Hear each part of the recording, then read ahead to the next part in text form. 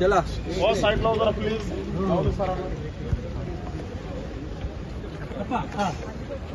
ज्या प्रकारे ईडीचं समन्स आलं त्या पद्धतीने वर्षा राऊत आज दुपारी अकरा वाजता ईडीच्या ऑफिसमध्ये हजर झाल्या.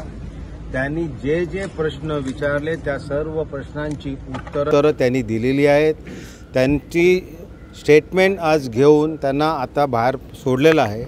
परंतु ज्यावेळी स्टेटमेंट घेतल्यानंतर मी माझ्या वहिनीशी बोलल्यानंतर त्यांनी एकच वाक्य सांगितलं ते ते सांगतील काय ते. बोलले या नाही. काहीही झाले तरी सुद्धा आम्ही शिवसेना सोडणार नाही आम्ही कायम उद्धव साहेबांच्या पाठीशी आहोत.